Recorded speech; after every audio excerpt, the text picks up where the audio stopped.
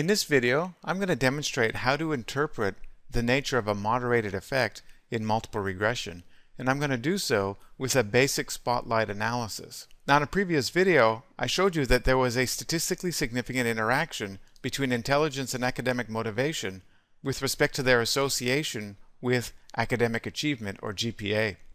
For the purpose of this demonstration, I'm going to consider academic motivation the moderator in this context, but it's perfectly plausible to consider intelligence the moderator. You have to choose one side or the other. It's entirely up to you.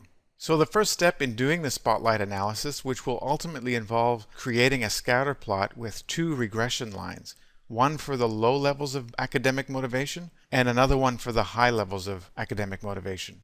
So what I need to do is I need to recode my academic motivation variable in such a way that low values get a value of 1 and high values of academic motivation get a value of 2. Now I've already sorted these academic motivation scores from low to high just to show you that what the recoded variable is going to look like in a fairly easy way. So I just literally went into data, sort cases, and then I sorted the academic motivation variable ascending. Okay, I've already done that. So there we go. We got from low all the way to high toward the end of the data file. And now I want to get a variable that will have ones over here for the low values and then twos for the high values. How can I do that efficiently? The first thing I need to do is estimate the median because that's going to be the demarcation criterion to distinguish a low and a high value.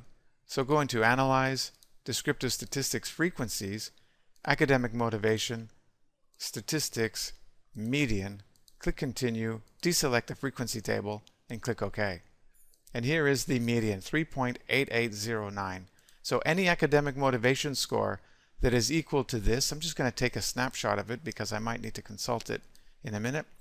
Any value that is lower or equal to, to 3.8809 is going to be identified as a low academic motivation level, and anything larger is going to be a high motivation level. So now that I've got the median, I go into transform and recode into different variables. This is going to create that dichotomous low-high variable. And it's academic motivation that I want to recode. And I'm going to call it motivation low high.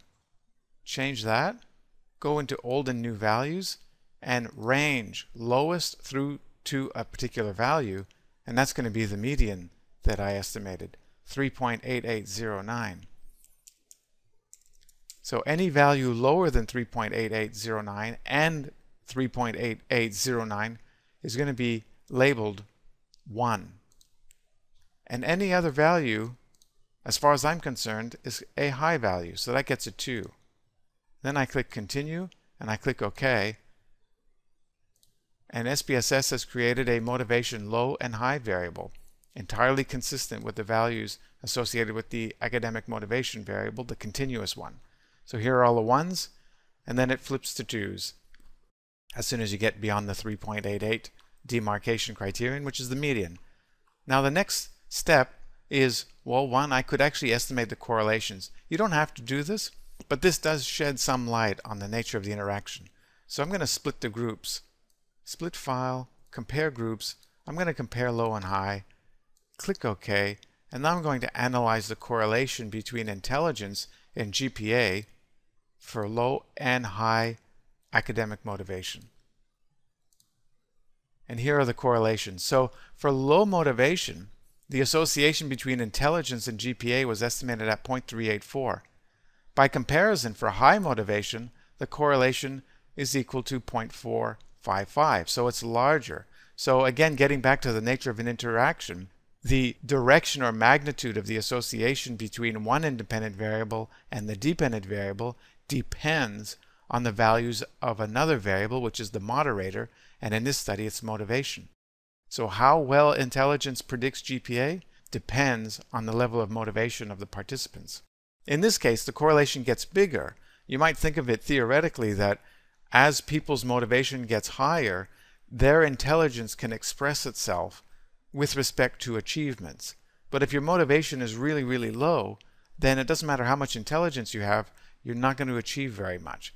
It's almost like motivation is the facilitator of intelligence being able to express itself. Again, you can flip the interpretation of this with respect to motivation and intelligence being the moderator. So motivation can't express itself with respect to achievement unless there's some intellectual capacity in the person that's trying to achieve something.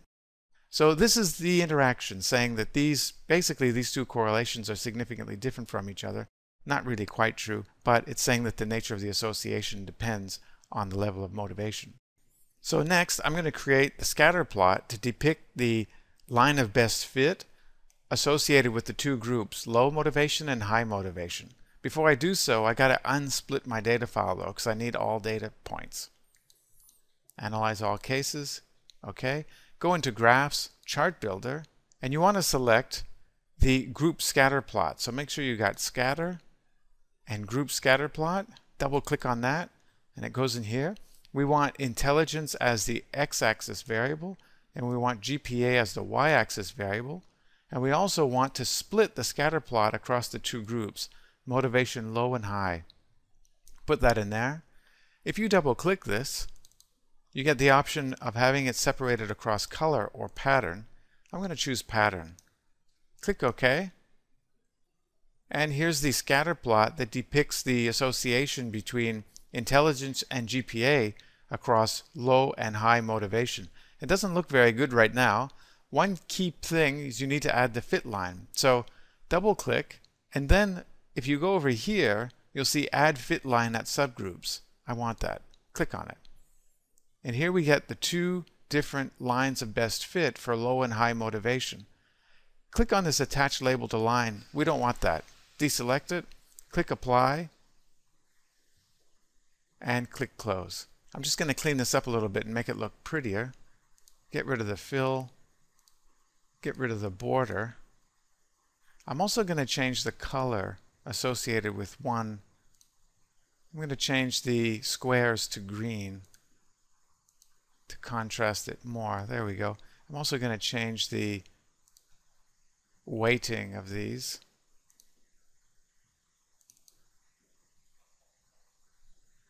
Border width to 1.5, apply, there we go. So here is the scatter plot depicting the association between intelligence and GPA for both low motivation and high motivation. And you can see that low motivation, low motivation has the straight line. I probably even try to make that a bit better.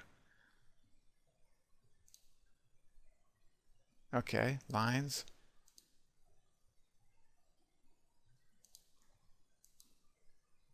There we go. Change that to 1.5. Maybe even 2. Okay.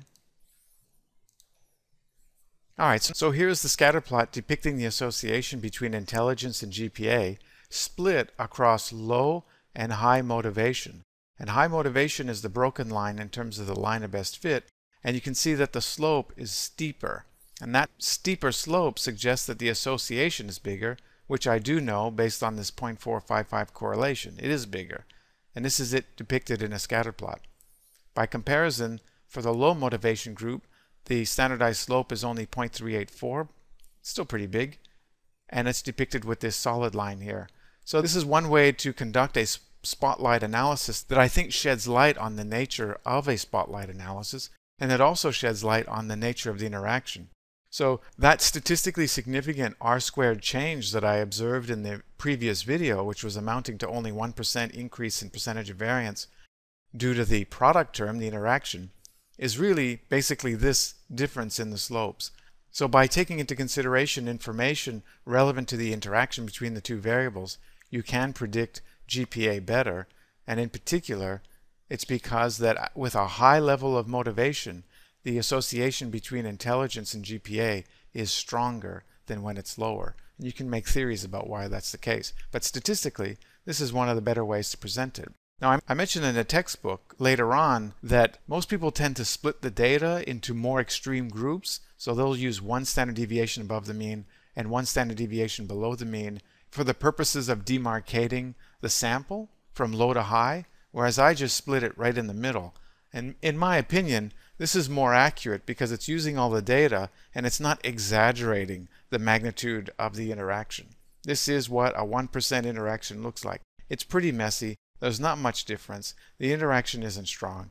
This is, in my opinion, a more accurate approach, but it's not the most common approach. So in a video later into the chapter, I show you how to apply those more commonly observed techniques, which in my opinion exaggerate things probably a little too much.